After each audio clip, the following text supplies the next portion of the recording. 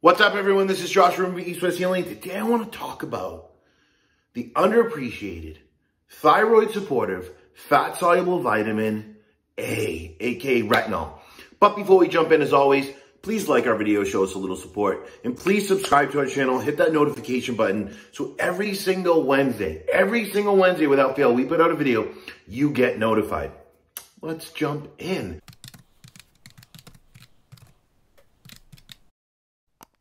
Now, when it comes to the thyroid, things like selenium, iodine, tyrosine always get all the fame, right? Why?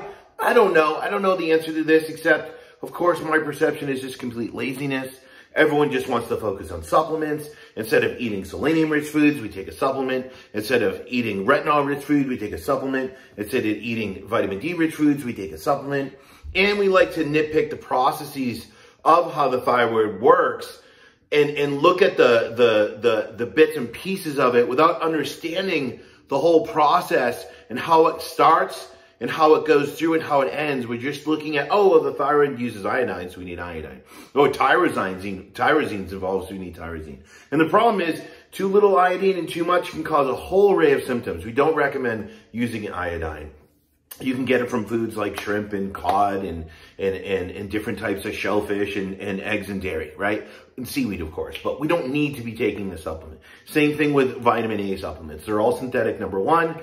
Number two, we can get it from a fatty fish, herring, mackerel, salmon, etc., as well as dairy and eggs and organ meats, especially like uh, beef liver, chicken liver, and cod liver. Those are great sources of retinol. So nature always provides us with what we, what we need, but the problem is, do we want to eat the foods or are we just going to try to eat the synthetic supplement that's not regulated by the FDA and most of the time it's just junk, right? And this is why we're seeing this. We're seeing this and I feel like the bubble is getting bigger and it's about to burst where people are just overloaded with supplements. Their cabinets are overflowing and nothing is really working. And we're seeing that the the approach of you know what western medicine does of doing a lab and taking a medication what's transferred to functional medicine which doesn't work right? It's the same thing philosophically of doing a lab and taking a supplement. It doesn't work. If anything it's actually the same or even worse right? So we have to really look at the food. Now when we talk about retinol why is it so important we talk about the thyroid? Well here we go well, first of all, without retinol, we don't have bioavailable copper. Bioavailable copper is called ceruloplasmin. It's a protein. It's produced in the liver. Um, why? Because we store copper in the liver from the second we're born that was downloaded from our parents, of course, possibly from the foods we eat too as we grow, but copper is stored there. Well, copper has to be kind of transported or shuttled or grabbed onto and loaded into what's called ATP 7A and B right? And that's what loads copper onto ceruloplasmin. In a sense, you can call it copper metabolism, just to simplify it, right? So retinol is the key. Without retinol, we can't shuttle copper into ATP 7A and B to kind of produce ceruloplasmin, which is that active copper, right? The copper that we can use to produce tons of copper-rich antioxidants. The copper we can use to activate oxygen, right? And the copper that we can use, ceruloplasmin, to activate TRH, so we can produce, stimulate TSH so we can produce thyroid hormone. The CP or ceruloplasmin or bioavailable copper that we need to actually convert thyroid hormone from inactive T4 to active T3. And the type of copper that we need to produce specific enzymes like TPO and dual oxidase enzyme. So when we talk about the thyroid, copper or retinol, whatever you want to call it, plays a huge, huge role. And the question we have to ask ourselves is a thyroid issue, we'll just kind of group it as that, um, truly a vitamin A or AKA copper deficiency.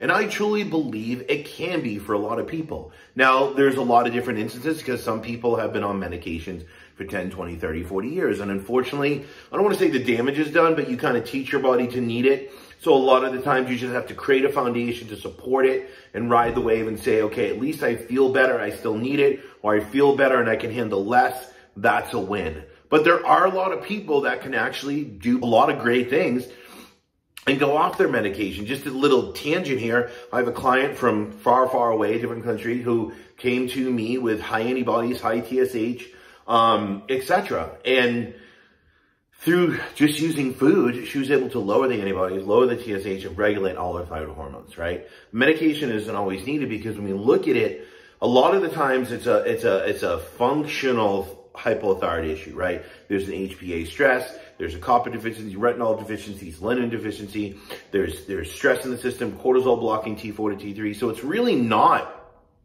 the thyroid that's a problem, just like Hashimoto's. It's an immune system issue. It's not a thyroid issue, right? So we know, right, why we need retinol for copper and what copper or ceruloplasmin does for TRH, conversion of T4 to T3, and production of TPO. To bring this point a little further, and of course, you can always check the description because I always post a lot of information in there about exactly what I'm saying.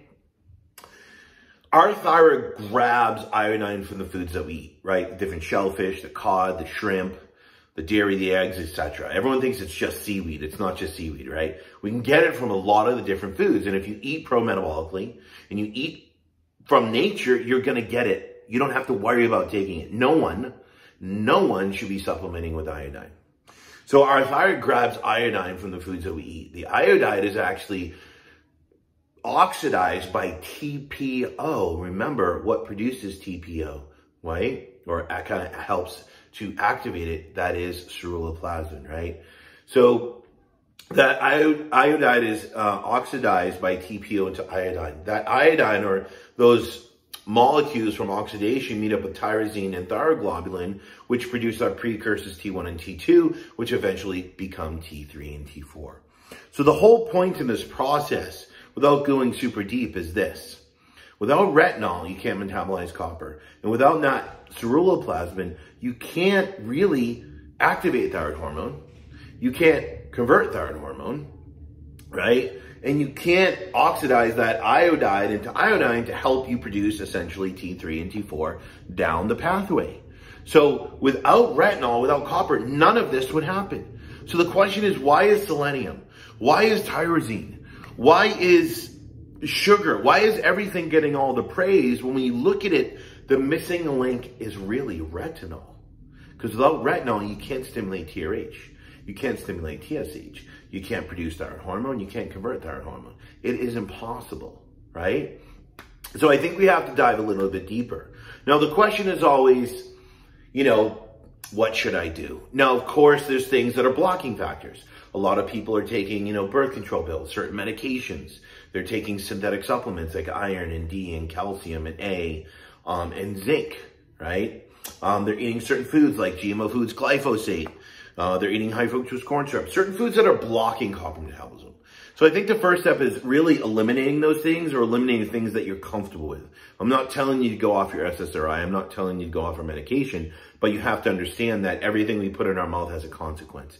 And sometimes those consequences are very, very deep because anytime you mess with copper metabolism, you not only mess with thyroid metabolism, you mess with energy or ATP production, antioxidant production. And essentially what you're doing in the end is you're pushing your body towards oxidative stress, inflammation, and calcification, which is a little forest fire or a camping fire that turns into a 500,000 acre forest fire. You're pushing yourself towards inflammation. The step after that would be start to eat retinol rich foods, right? Your, your organ meats, your fatty fishes, your dairy, your eggs. Start to eat copper rich foods like your organ meats, your shellfish.